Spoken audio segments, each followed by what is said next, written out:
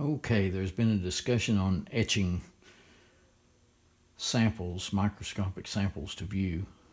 And I did a little did a little effort tonight and wasn't very surprised, but uh, a few things came out of it.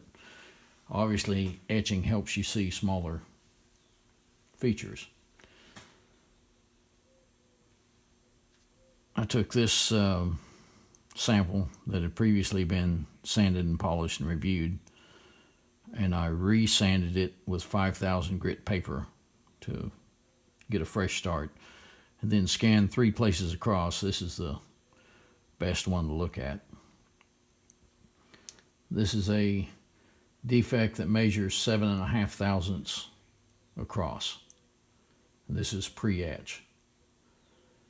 And you can see a few other features here, a little line there, and of course the lines down here.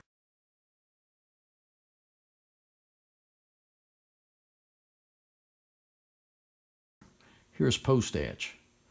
After I etched it, I had to sand it a little bit. Maybe I sanded it too much, but I had to get the, the dull off of it, and it was surprising how many features disappeared.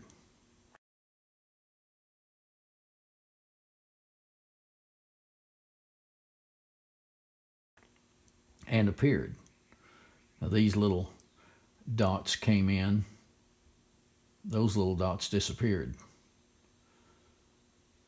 I believe that this little feature, pre-etch, when we went to post-etch, uh, it's shallower.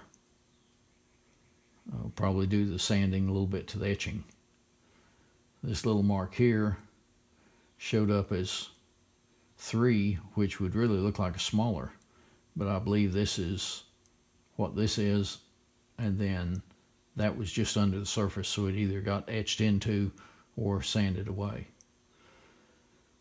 Now I'm generally looking for defects that are three thousandths and greater.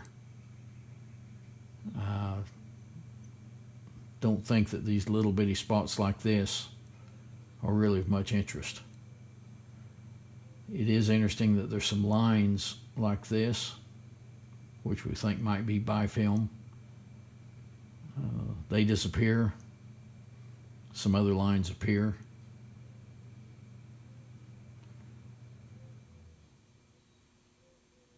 That's about it.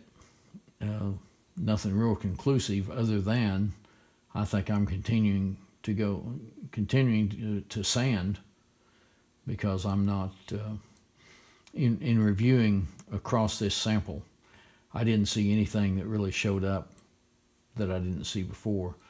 Uh, maybe some stuff this this size, but when you see that one disappear, then I can't say that uh, that they showed up, they may have been a thin place eaten into, and this is a thin place eaten away by the etching.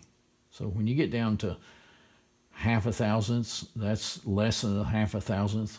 If that's seven and a half, that's about a little less than a thousandth wide. So they're pretty small.